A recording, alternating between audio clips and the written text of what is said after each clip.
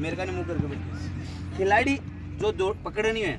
वो सिर्फ़ और सिर्फ़ ये जो रो का मायने घूमा वो ये रो में अगर भी को एक भी पग बाई तरफ़ या दाई तरफ़ आगो है तो बिना बी ही रो में बी मिल गया तो बिन्ना जाओगे इल्लो पग मिल गया तो इन्ना पग पग मिल गो प्लस बी का बी रो में जब मान लो पग ना अठीन मुड़ गो अड़स है यानी ई साइड में मुड़ गो अठीन।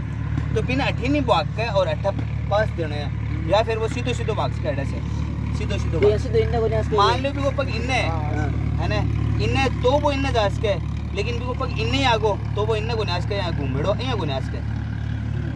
समझ रहे हो बात समझ